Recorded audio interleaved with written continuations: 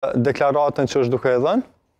So, um, so, on the timeline itself, you know, if you read the statement issued by the Chancellor of Germany, the President of France, the Prime Minister of Italy, and may I pause to say how extraordinary it is that these three very senior European leaders are involving themselves directly in this process to help Kosovo move forward in its European and Euro Atlantic vocation and to normalize its relationship with Serbia to the benefit of both countries, but in particular to the people of Kosovo.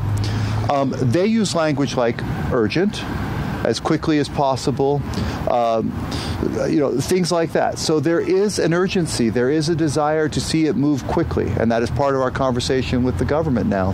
There's no reason for the government of Kosovo not to move forward with this draft statute. Um, the prime minister acknowledged his readiness to have uh, accepted it in its entirety uh, just a couple weeks ago. Um, we are also working to see it done as an element of our broader strategy.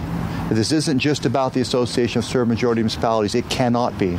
It's about achieving the complete and full implementation of all of the obligations entered into by both Kosovo and Serbia in the basic agreement and the Ohrid Implementation Annex. So that's what we want to see. Mr. Ambassador, since, since the statute has not been made public, it is uh, interpreted as a uh, kind of autonomy of the Serbs in the north. Will the U.S.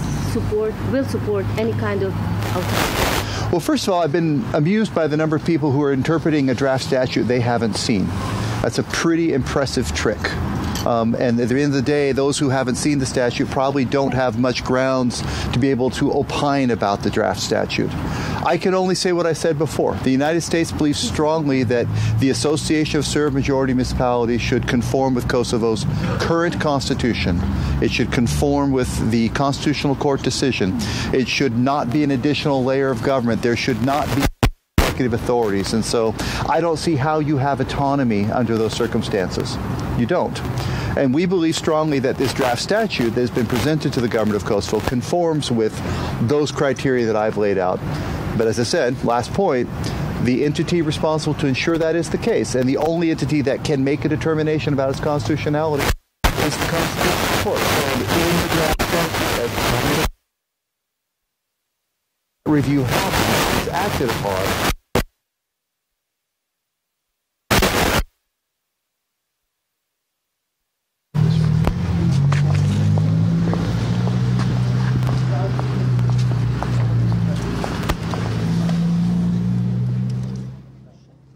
Ndoqëm edhe deklaratën e Gjafri